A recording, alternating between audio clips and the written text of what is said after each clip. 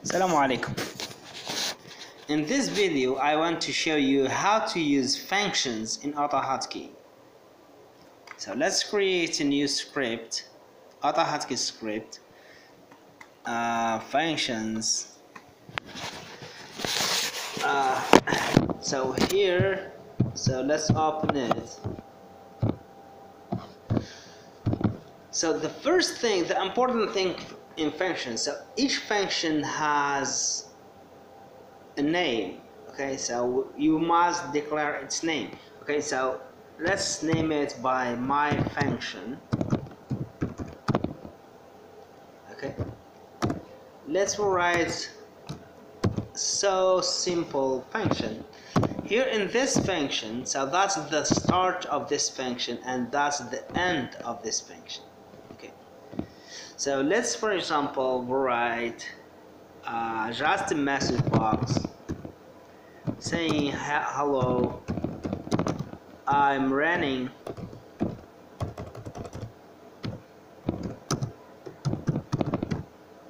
In the function. Uh, my function so when I ran when I ran so nothing happened okay? Because so I just declare I say that this is my function. To run it I must call my function I must call it okay? So I when I if I want to call it I just will write its name my function. Like that. So when I ran so hello I am running in the function my function. What's that mean? That mean when I call this function that mean that I want to run all the instructions in this function. All the instruction starts after this symbol here and before this symbol here. Okay?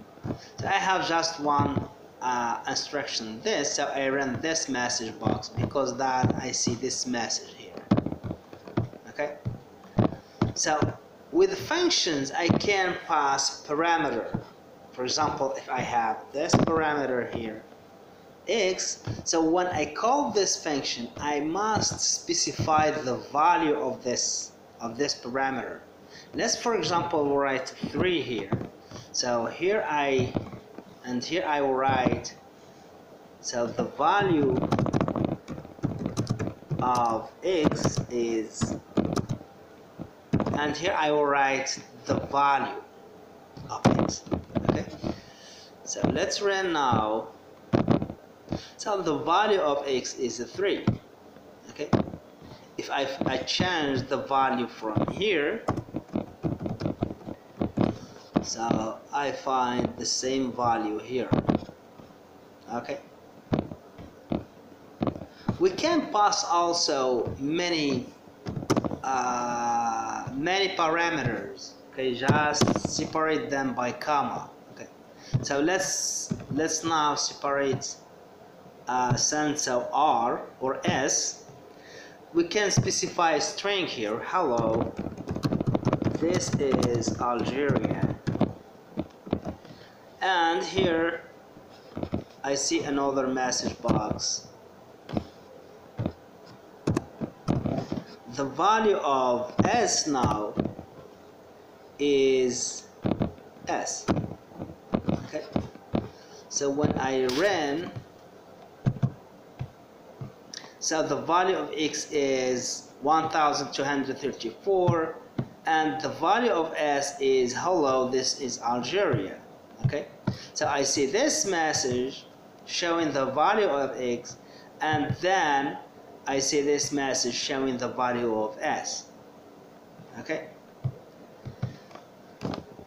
So let's erase s. So we said that you can uh, pass a lot of uh, a lot of parameters. So let's see let's use x and y.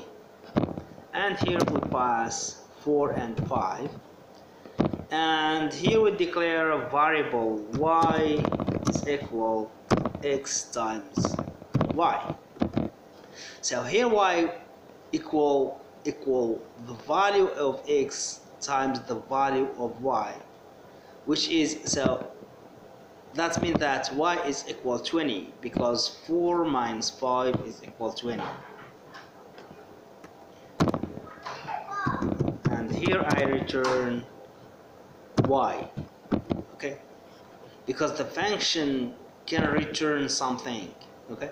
So let's here declare a variable d is equal my function for 5 and here I see the message box message box of the value of d. The value of d is equal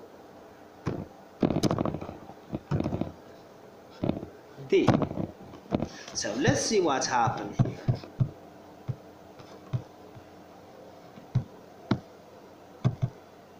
So the value of d is equal 20. Why? Because here when I call this function, I pass 4 as a value of x and 5 as value of y. So here I make y is equal x times y. That means that y equal 4 minus 5 uh, times 5 which is equal 20 and here I return the value of of y okay and here when I, I will write d is equal this function that means that d is equal what this function return here? It returns y because that I see that the value of d is equal 20 okay? So that's it. I hope that you subscribe to my channel and i hope that you uh, like my video.